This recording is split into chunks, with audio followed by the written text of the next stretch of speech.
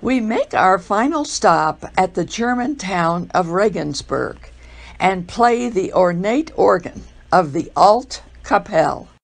The Alte Kapelle instrument with two manuals and 40 stops was built in 2006 and dedicated on September 13th, 2007 by the Pope Benedict during his visit to Regensburg.